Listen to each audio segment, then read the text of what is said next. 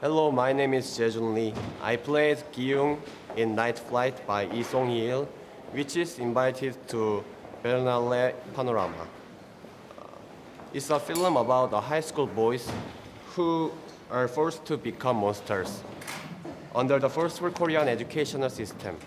Hope you enjoy it. Thank you, Shen. 85점이 뭐냐? 성진이야. 서울대 가자, 씨발. 아이 씨발로 막 95점은 줘야 내신 1등급 할 거 아니야? 그래 이 새끼야 성진이 대학 보내자 이 씨발로 마정 맞아서 보내줬어 쳐. 이걸로 찍어. 100점 줄 테니까. 등신같이 그딴 거 말고 이걸로 찍으라고. 우리 친 거잖아. 씨발 기대라고 말이라고.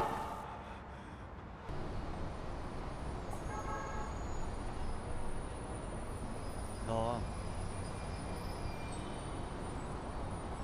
외롭냐?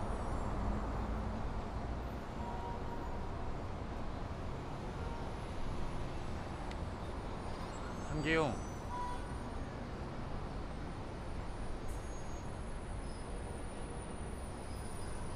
For this movie, how did you get the idea for this movie? 이 영화 찍을 때 어떻게 출발하는 아이디어는 어떻게. 실화 한국에서 발생했던 실화 모티브로 It's based on an actual event. He brought the motive from that. And what was that something that was big in Korea in the news, and that's how you sort of found it and why you wanted to do it, or was it rather a small story and you found it and decided to make it bigger? 큰 사건이었었는지 그게 좀 유명해갖고 그거 갖고 가- 그 영감을 얻으신 건지 아니면 작은 스토리인데 어떻게 딱 발견을 하셔갖고 이야기를 시작하신 건지. 큰 이슈가 되고 한국에서 청소년 자살이 어, 큰 문제로 지금까지 계속 부각되고 있습니다. Double 된대요.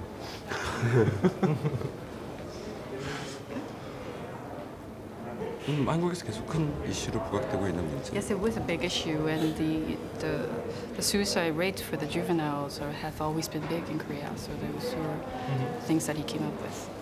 And the reasons for that is the pressure of the society, the pressure that you have to achieve something in school and in society, or is it also connected to the homosexuality? 그 자살률이 높다라는 게 한국에서 이 그 사회적인 억압 때문에 그런 건지 아니면은 그 호모섹슈얼이기 때문에 자살률이 높은 건지 궁금하다고 합니다. 뭐 청소년 자살이 뭐 섹슈얼티 때문만은 아니고 학업 스트레스, 뭐 공부 뭐 이런 것들 그리고 학교 폭력 그리고 성 전체성 뭐 등등 여러 가지 복합적인 요소로 자살률이 높은 걸로 알고 있다. The suicide rates for the juveniles are high, not because of the homosexuality, but more for the, the stress that they're under, because of the studies that they have to go through, the stress under for the from the schools and school violence and various reasons for them. But is homosexuality something that is accepted in Korea? Or Is are there public discussions about the acceptance of it? 한국에서는 호모섹슈얼이라는 것을 굉장히 용납하는 그런 분위기인지 아니면 이것들에 대해서 논란을 가지면서 이제 이야기를 할 수 있는 분위기인지 궁금하다고 합니다. 아니 뭐저 예전에 비해서는 많이 어, 우호적인 분위기이긴 하지만 어, 여전히 이제 뭐 자기 주변 사람들이 이제 뭐 게이거나 레즈비언일 경우 반응은 좀 다른 것 같아요. Compared to previous years, it's been much more open about talk discussions on homosexuality. But it's still, if if you find someone who's gay around you, in, uh, that first-hand experience, then they would refrain from talking about it. 그 얼마 전에 그 어, 최초는 아닌데 동성 결혼을 왜그 광수형이랑 했었잖아요. 한국에서는 법적으로 허용이 안 돼. 나는 상징적인 사건이 있었었는데 그 단적인 예인 것 같아요. For instance, a while ago, there was, for the first time in Korea, not for the first time in the world, but in Korea, there was an openly uh, open wedding for a gay couple in Korea. It's not accepted legally in Korea yet, but for instance, those are the issues that we have brought up in societies. And has the movie been screened yet in Korea? And if so, how were the reactions of the audience? 영화가 한국에서 상영을 했는지, 그리고 만약에 상영했다면 반응은 어땠는지 궁금하다고 이 영화 합니다. 월드 프리미어인데 We have the world premiere here. Yeah, the world here. Okay. and how was it for you two guys to be part of the movie? I mean, how did you get in there? Was it by casting? And how did you approach the roles of of right of um, playing these two guys in the movie? 두 분이 이제 배우분들이 캐스팅 어떻게 하시게 됐는지 그리고 본인들의 캐릭터를 어떻게 받아들이게 됐는지 궁금하다고 합니다. 먼저 해? 영어로 아니면 한- 한국말로 하는 게 낫겠죠? 영어로 하실 수 있으면 영어로 하셔도 돼요.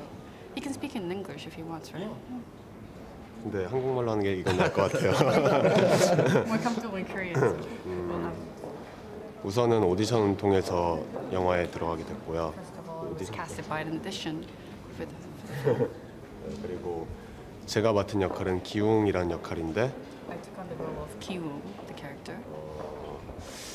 외로움이 되게 많은 아이여서 그거에 대해 많이 연구하고 It's a character that was uh, dominated by, by the loneliness.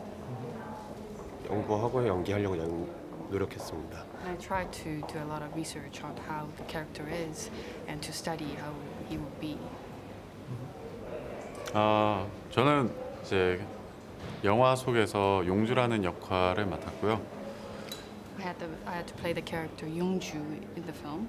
아 그리고 제가 이 캐릭터를 왜 선택을 했냐면은 어, 영화를 보시면 아시다시피 그 안에서 이제 어, 학교 폭력과 아까 감독님 말씀하셨던 그 학업적인 문제에 대한 이제 보통 학생들의 스트레스 그다음에 아 그다음에 경쟁 부분이 너무 심해서 그런 그다음에 학, 경쟁 부분이 심하고 그다음에 어, 학교 폭력 이런 것들이 너무 심하다 보니까 거기에 대해서 뭔가 내가 그거를 좀 표현을 해서 뭔가 다른 사람들이 좀 더 그러지 않을 수 있도록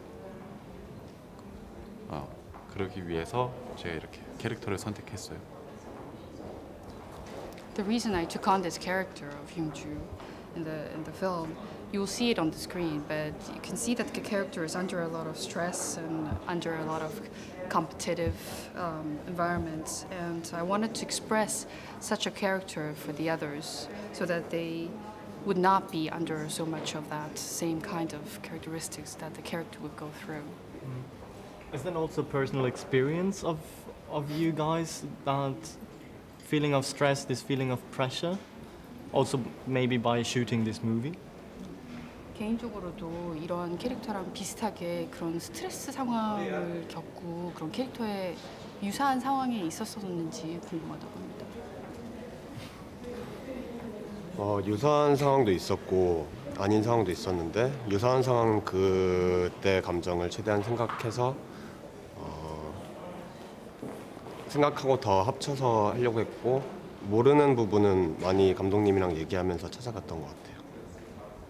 Yes, of course, I was under similar experiences before, and I tried to remind myself of that situations and combine it with other emotions while I played the character. And for for the moments that I, I wasn't too sure, I always related to the director to to give me advice on on the, the things I played. 음, 질문이 뭐였죠? 유사한 상황에 혹시 아, 비슷한 예. 스트레스를 겪었었나? 그죠 저도 학교 다닐 때 왜 뭔가 따돌림을 당한 적이 있어서 네, 그래서 뭔가 더 제가 표현을 더 하고 싶었던 것 같다고. Yes, I would say I, I did have similar experiences, especially back in school. I was I did have an experience of being bullied, so I tried to. I, I think it was more easier for me to convey that on screen. Um, when I watched the movie, I, I had the feeling that this, then the stress, the pressure, and so forth is very well conveyed in the characters.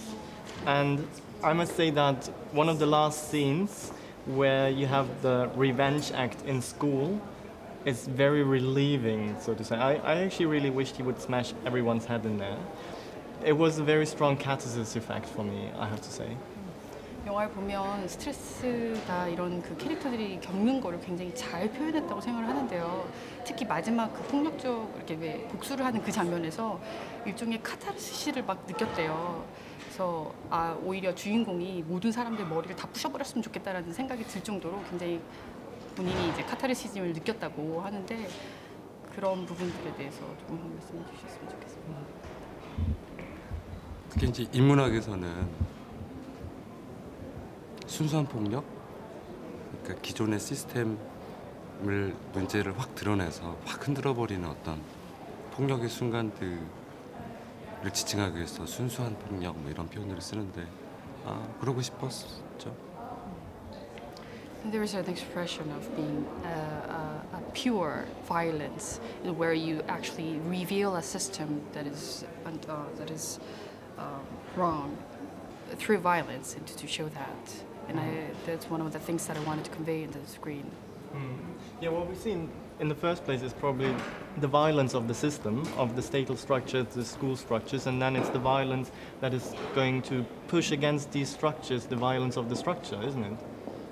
보면은 진짜 학교 교육적인 어떤 시스템적에서 나오는 폭력들이 그 이후에 다른 전체적인 시스템의 폭력들을 보여주는 그런 형상을 영화에서 나타낸다고 생각하는데요. 학교가 아무래도 사회 압축판이다 보니 I believe school is a concentrated version of the, of the society. 한국 교육 경쟁 시스템이 전 세계에서 가장 강한 나라. I believe that the Korean educational system is the most competitive in the worldwide. 그 아래에서 그 아래에서 뭐 여러 가지 문제들이 발생하고 왕따가 발생하고 소수자가 어, 살기가 힘든 어떤 구조 여서 그걸 이 영화를 통해서 담고 싶었다. 뭐그 정도죠. And I wanted to convey that, that it's the, the hardships of having um, the violence or the competitiveness, all that in the social systems, um, how hard it is for, for to live in the Korean society. And what role does individuality take in in a system that is so strict and so, yeah, so harsh? 그렇게 억압적인 사회에서 개인성이라는 게 어떤 개인의 독특한 개인성이라는 게 어떻게 나타날 수 있, 있다라고 생각을 하시는지요? 서구와 달리 개인주의가 그래서 아직까지 학자들이든 우리들이 바라보기에는 어, 개인주의가 확실히 이렇게 정착이 되지 못한 사회이기도 하죠. Unlike the Western world, that's why one of the individualism in Korea is not distinguished enough. 그 섹슈얼리티라는 게 개인주의와 아주 밀접한 사이가 있는데 개인주의 자체가 구체가 되지 못해서 뭐 호모섹슈얼이든 다양한 어떤 성의 섹슈얼리티가 억압이 될 수밖에 없는 And since sexua- sexuality is um, intimately related to individualism, I think that's why one of the reasons that it's not stabilized enough in Korea. Interesting. Um, something else that I found uh, very obvious and which is something you see in a lot of movies nowadays is the use of media, the intermediality of the movie, that the gang was filming what they did with other kids and so forth. That, on the other hand, is something that appears in Korea as well, like in the Western world. 요즘에 최근 영화들을 보면은 많이들 그러긴 한데 어떤 미디어를 활용하는 것들을 영화상에서 표현을 많이 하는데요. 지금 보면은 예를 들면 성폭력 당하고 있는 장면을 찍어서 그걸 어떻게 온라인에 올린다든지 하는 그런 현상들이 한국에서 굉장히 많은 보기 쉬운 현상인 건지 왜 서구 서양 어, 사회에서 한국은 IT 강국이라서 IT 문화에 관련돼서는 굉장히 진보한 상황이어서 뭐 여러 가지 어, 응용 청소년들이 많이 쓰죠 그거를. Since the internet technology is so advanced in Korea, it is very common for the, the children or the youth to use uh, the media as their as a medium for them. And about the ending, I mean, I don't want to give away the whole ending, but would you say it's a positive ending? 엔딩을 여기서 얘기하고 싶지는 않지만 사실 엔딩을 감독님이 생각하시기에 이게 긍정적인 엔딩이라고 생각을 하시는지요? 당연히 of course 어, 그 위로를 하고 싶은 장면이죠. Yes, of course. I believe that it is a positive ending, and I wanted to console through through that ending sequence. Since the movie hasn't been screened in Korea yet, what do you expect is going to happen when it will be screened? Do you- 한국에서 아직 이 영화 상영하지 않았으니까 만약에 상영한다면 어떤 반응이 있을 거라고 예상을 하시는지요? 일단 많이 보러 왔으면 좋겠고 First of all, I wish that many people would come to see the film. 어, 한국에서는 지금까지 어, 학생이 선생을 어, 때리는 폭력을 가하는 장면이 없었는데 Until now, there's never been a case where you actually see students taking violence against the teachers on screen. 어, 아마 그게 좀 논쟁이 되지 않을까. Perhaps that could be one of an issue uh, when it's screened in Korea. But do you think it will be an issue, or do you think it will trigger discussions about the system? 단순히 이슈로 끝날지 아니면 그런 시스템적인 문제에 대해서 그 논의를 할 수 있는 그런 계기를 마련해 줄지 계기를 작게나마 어, 한국에서 지금 가장 큰 이슈는 학생 인권 조례에 관련된 그 종사자들을 초청을 해서 영화를 보고 좀 이야기를 할 수 있는 자리를 마련하려고 해요. I am hoping that it becomes of an issue so that people can discuss, especially for the students, student human rights um, reasons. And I want to invite those who are actually related to that for to come and see the film. Well, I hope that you will have these discussions after the movie, and um, I wish you a very good first screening then. Thank you for the interview. Thank you.